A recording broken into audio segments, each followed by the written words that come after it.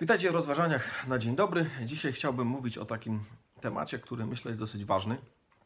Mianowicie o pewnym rozdzieleniu między myśleniem mm, a etyką, a naszymi postawami, naszymi, naszą, można powiedzieć, jakością życia, które się dokonało w naszej cywilizacji. Do końca nie wiem dlaczego, mogę się zastanawiać nad tym. E, pewnie tych przyczyn można by różnych podać wiele. Natomiast jest pewien paradoks, którego jesteśmy świadkami. Y, myślę, doświadczamy go wszyscy intuicyjnie, że z jednej strony bardzo szanujemy y, nasze osiągnięcia intelektualne, bardzo szanujemy naukę, bardzo szanujemy y, pewne, pewne twierdzenia, prawo, to wszystko, co jest związane z pewną działalnością intelektualną, a z drugiej strony bardzo ściśle odseparowaliśmy sobie właśnie tą, tą sferę od sfery wartości, od sfery przekonań, od sfery wierzeń, ideologii. Y, no właśnie, i tak naprawdę pytanie brzmi, czy w chrześcijaństwie to jest możliwe?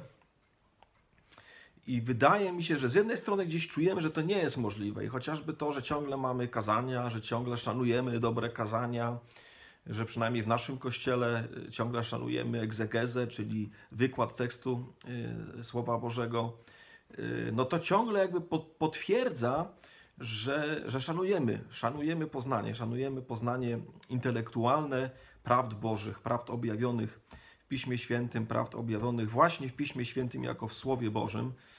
I myślę sobie, że to jest bardzo ważny aspekt.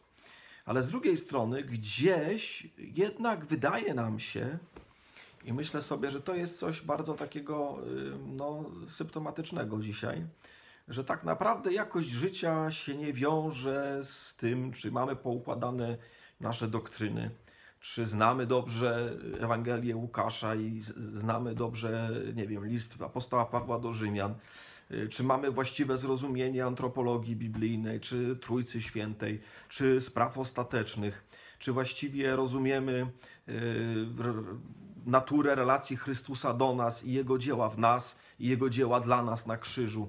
No, wydaje mi się, że gdzieś, tak, takie mam przekonanie, bardzo wielu z nas uważa, że to są kompletnie dwa rozdzielone światy. Ktoś może być super dogmatykiem i, i, i żyć jak, prawda, jak pies, a ktoś może kompletnie nie znać słowa i być wspaniałym chrześcijaninem. No i powiem szczerze, nie podoba mi się ta myśl. Uważam, sobie, uważam że jest błędna Oczywiście są wyjątki, oczywiście są ludzie, którzy przeczą pewnym zasadom, są ludzie, którzy pomimo tego, że są może rzeczywiście wspaniałymi dogmatykami, y, jakby no, żyją bardzo nieelegancko i zaprzeczają swoim życiem, swojemu wyznaniu wiary. Z drugiej strony może tak się zdarzyć, też nie chcę zaprzeczyć. Pewnie są takie osoby, które naprawdę bardzo mało wiedzą o Bogu, ale paradoksalnie nie zgodzę się, że, że, że, nie rozmyślają. Nie, nie zgodzę się na to, żeby tak stwierdzić, że ktoś, kto nie rozmyśla o Bogu w ogóle, czy to przez modlitwę, czy przez, na, na, przez czytanie, czy nad Pismem Świętym, że taki człowiek może być dojrzały duchowo. Myślę, że nie może być.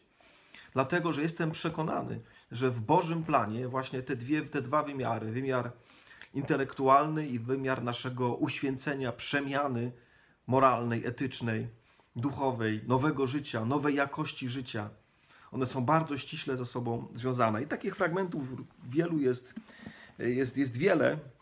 Y, ja wybrałem sobie kilka różnych. Na przykład w Ewangelii Jana czytamy o tym, że Duch Święty jest dwa razy nazwany Duchem Prawdy, y, który przypomni wam to, czego was nauczałem. To jest 14 rozdział, 26 werset. Yy, nauczy was wszystkiego. Duch prawdy, który od Ojca wychodzi, złoży świadectwo o mnie. Zwróćcie uwagę, ten Duch Święty jest duchem nie który lekceważy prawdę, ale jest duchem, który właśnie tą prawdę e, Kościół wprowadza. I, e, i, I, te prawdy objawione są właśnie prawdami przemieniającymi. E, znowu, dzisiaj często to jest rozumiane w ten sposób, że skoro prawda przemienia, to nie jest prawdą taką, powiedzmy sobie, intelektualną. A to nieprawda. Właśnie jest prawdą intelektualną, jest czymś więcej. Purytanie mówili, że Chrystus przychodzi do nas właśnie poprzez swoje słowo i w swoim słowie, słowie Pisma Świętego, jako słowie Bożym. Y, I co też zresztą myślę jest bardzo ważne, kiedy apostoł Paweł chwali Tesaloniczan, to chwali ich właśnie za to, że przyjęli jako słowo Boże, jak jest prawdziwe, a nie jako słowo ludzkie. Co myślę, że skądinąd pokazuje, dlaczego zazwyczaj konserwatyzm religijny jest związany z konserwatyzmem etycznym, czyli trzymają się te dwa wymiary ze sobą, są ze sobą połączone. I na odwrót, kiedy jednego zaczyna brakować, to i drugie się też staje coraz bardziej luźniejszy i coraz bardziej względny. Chciałbym powiedzieć tyle.